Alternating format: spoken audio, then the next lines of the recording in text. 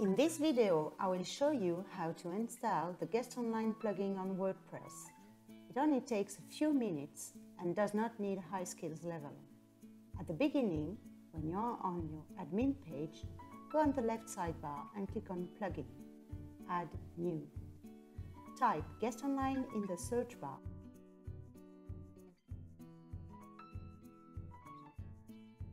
Then click on Install Now.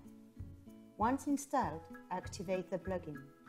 You can either search for the Guest Online plugin in the active list and click on Settings, or you can also click on Guest Online directly on the left sidebar. Then you have to fill in the sign up form with your own information. It will give you two different shortcodes. One for Guest Online booking frame and one for Guest Online booking button. Copy the one you want to add on your page. Now go on Pages. Pick the one you would like to be used. Select a text block.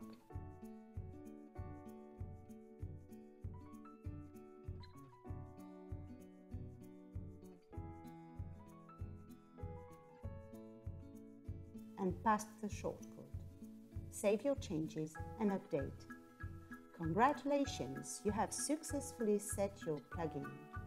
You are now ready to receive online bookings through your website.